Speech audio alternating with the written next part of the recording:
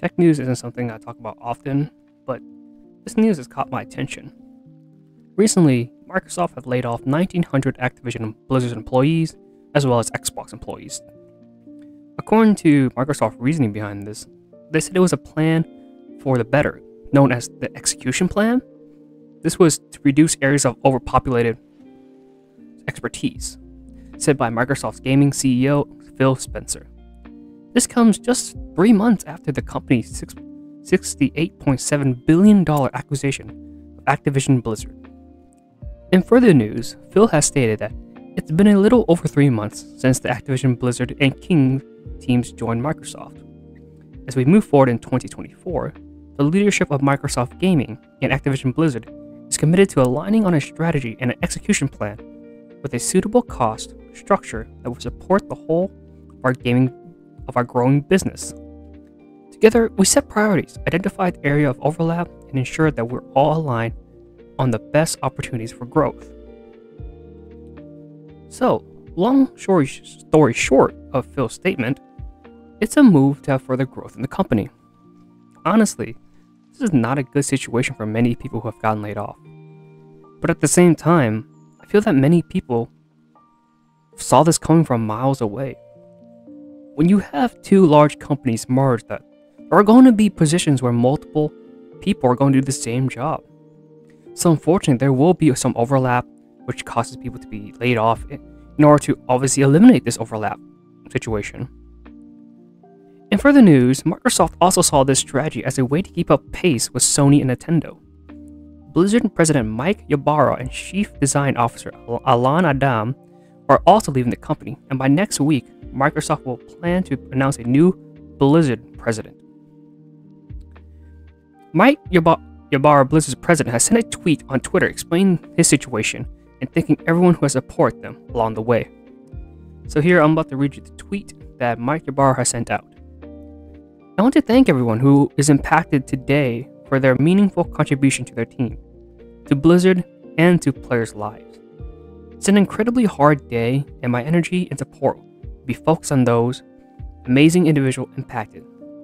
This is no way a reflection on your amazing work. If there's anything I can do to help, please. I have connections, DMs, etc. To the Blizzard community, uh, I also want to let you all know today is my last day at Blizzard. Leading Blizzard through an incredible time and being a part of the team shaping its for the future ahead was an absolute honor.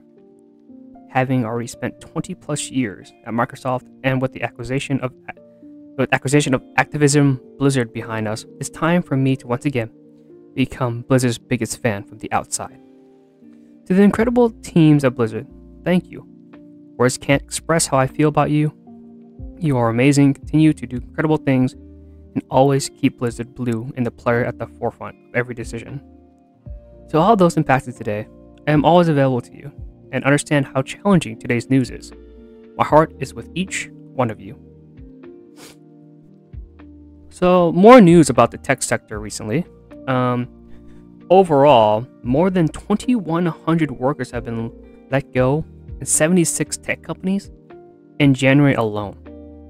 The tech sector shed 168,032 jobs in 2023 and accounted for the highest number of layoffs across industries. The, that included more than 100 that included more than 10,000 cuts at Microsoft. Analysis and industry experts have said they expected fewer layoffs this year, with firms that are racing to catch up with AI space more likely to downsize to offset the billions of dollars they are spending on the technology.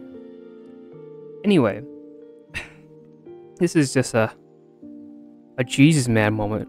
I mean, tech layoffs recently have been no joke, and I believe it's only going to get worse before anything gets better as the year goes on.